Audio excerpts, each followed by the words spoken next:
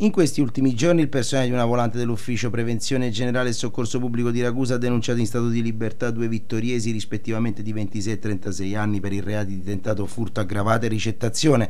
Inoltre il 36enne è stato denunciato anche per il reato di porto abusivo di strumenti atti a offendere, mentre il 26enne per guida senza patente perché revocata. Nello specifico, durante i servizi di controllo del territorio predisposti dal questore di Ragusa Vincenzo Trombatore, veniva segnalata alla sala operativa un tentativo in atto di furto di un motociclo che si trovava parcheggiato in una via centrale di Ragusa. L'immediato intervento degli agenti della squadra volante permetteva di rintracciare i due uomini mentre si stavano allontanando a bordo della loro autovettura. I poliziotti, dopo aver fermato l'autovettura, procedevano subito al controllo. È stata effettuata una perquisizione nel corso della quale all'interno del veicolo sono stati anche rinvenuti diversi beni di dubbia provenienza che pertanto venivano sequestrati per poter effettuare i successivi accertamenti. Inoltre il 36enne è stato trovato in possesso di un coltello che è stato anch'esso sequestrato. Al conducente del veicolo veniva altresì contestata la guida guida con patente revocata.